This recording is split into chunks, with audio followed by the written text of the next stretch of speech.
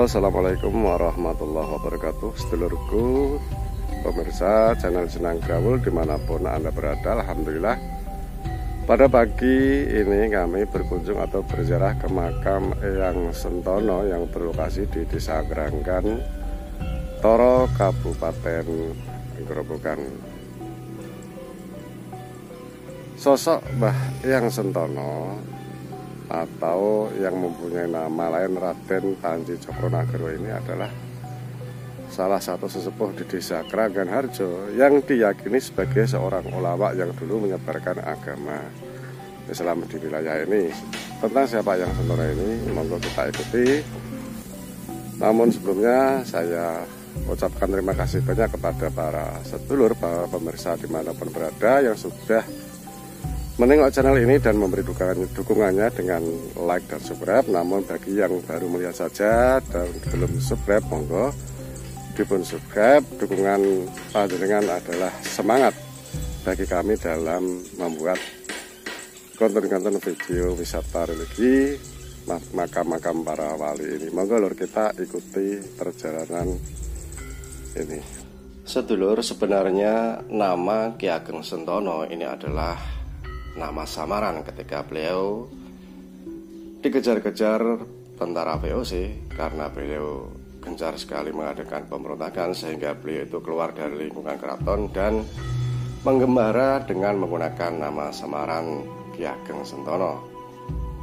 Beliau adalah kelahiran asli dari daerah Gajah, Solo, tepatnya di selatan Keraton Solo. Sebagaimana yang saya katakan tadi bahwa nama asli Ki Ageng Sentono adalah Raden Panji Somotilogo atau Raden Temenggung Panji Cokronagaro.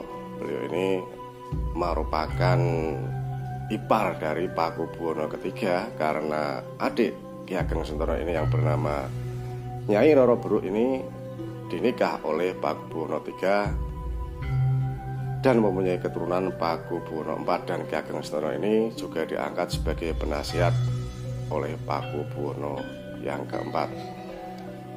Keyakinan masyarakat bahwa ketika beliau ini gerilya melawan penjajah Belanda dalam hal ini adalah VOC, beliau ini sekaligus juga mendakwahkan agama Islam. Maka Sebagian masyarakat pun mengakui dan meyakini bahwa beliau adalah seorang ulama sekaligus sebagai seorang wali Allah. Karena silsilah beliau yang negeri ini sampai kepada Syekh Jumatil Kubro. Jadi silsilahnya begini sedulur. Eyang Sentono atau Raden Panji Sumodilogo atau Raden Tumenggung Panji Cokronagro ini adalah putra dari Kiai Tumenggung Wirorjo atau Kiai Jogosworo. Kiai Jogosworo ini putra dari Nyai Sutowijoyo. Nyai Sutowijoyo adalah putra Kiai Kertimancut atau Kiai Sutowijoyo. Kiai Kertimancut adalah putra dari Kiai Kertibunat.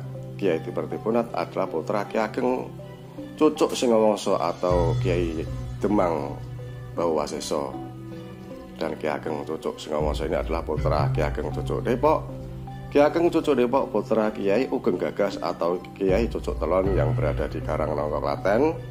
Kiai Ugeng Gagas ini putra dari Ki Ageng Karanglo Taji atau Ki Ageng Karanglo. Kemudian Ki Ageng Karanglo ini adalah putra Ki Ageng Ampuan. Ki Ageng Ampuan adalah putra Panembahan Jogorogo dan Panembahan Jogorogo adalah putra Raden Mas Alit atau Raden Mas Pamekas. Raden Mas Alit atau Raden Mas Pamekas ini adalah putra Raden Mas Panggung atau Siti Asikah putra Sayyid Maulana Ali Rahmatullah atau Sunan Ampel. Dan Sunan Ampel adalah putra dari Syekh Ibrahim Asmarokundi dan Ibrahim Asmarokundi adalah putra dari Syekh Jumadil Kubro. Itulah sedulur silsilah dari Ki Ageng Sentono yang keberadaannya berada di Dusun Keranggan Harjo, Kecamatan Toro, Kabupaten Gerobokan. Maka jelas bahwa beliau adalah mempunyai nasab yang mulia, generasi wali Allah yang menyebarkan agama Islam di Nusantara ini.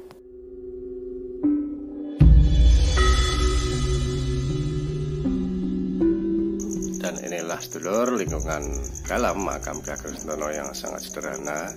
Ini dalam renovasi karena beberapa waktu yang lalu makam yang Sentono ini diterpa angin sehingga butuh perbaikan. Monggo teman-teman panjenengan sebagai seorang dermawan yang berkeinginan untuk bersedekah jariah dan ingin mendoakan atau memuliakan beliau silakan mendatangi makam beliau Ki Ageng Sentono yang berada di Desa Keranggan Harjo, Kecamatan Toro, Kabupaten Grobogan. Demikian sedulur, sejarah singkat Ki Ageng Sentono mudah-mudahan membawa manfaat dan membawa keberkahan. Wallahu a'lam bishawab. Wassalamualaikum warahmatullahi wabarakatuh.